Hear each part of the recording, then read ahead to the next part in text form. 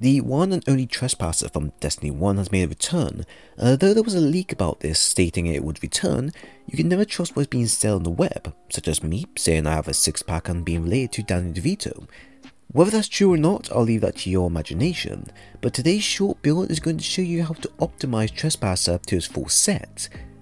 If you have the Season Pass, you too can get the weapon straight away just from opening up the Season Pass page. The Trespasser now has been updated with a few new perks for Destiny 2. It has a perk called Unrepentant, where reloading after kill causes the next shot to be longer and more powerful. What this does now is turn the weapon into a 6 round burst weapon that can destroy minor to major combatants in a single burst. It has another follow-up perk called Be the Danger, which allows the weapon to auto-reload while Unrepentant is active and resets your timer for it. Simply, you can fire indefinitely as long as there's enemies to defeat. However, the catch is that if you use this against a tougher combatant and it doesn't kill them, you will lose that burst and need to reactivate the perk again. With how flexible the weapon is, I can see this being a big contender for most used weapon in PvP and PvE.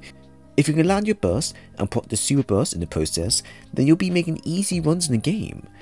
You can push his weapons limit even more by using Void 3.0 buffs such as Vanishing Step and Trapper's Ambush aspect, which will allow us to go invisible on demand and allow us to quickly get out of danger.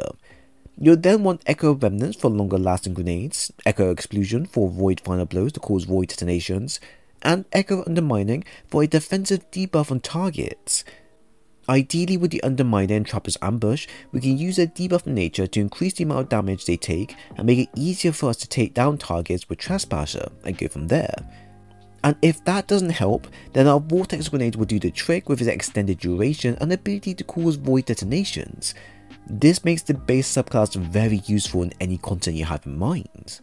On bare minimum, mod-wise, you want to add on Surprise Attack for a plus 40% side-on boost when charged with light, Elemental Ordnance to create wells via grenades, Elemental Charge to become charged with light, Powerful Friends you can get an extra plus 20 in mobility, and Reaping Wellmaker to allow you to create wells upon successful dodge and then get a kill. What this will do is that once you create a well, you'll be able to have your weapon supercharged for a short duration on top of the Trespasser's exotic perk, so our sickest burst will be even more lethal on demand.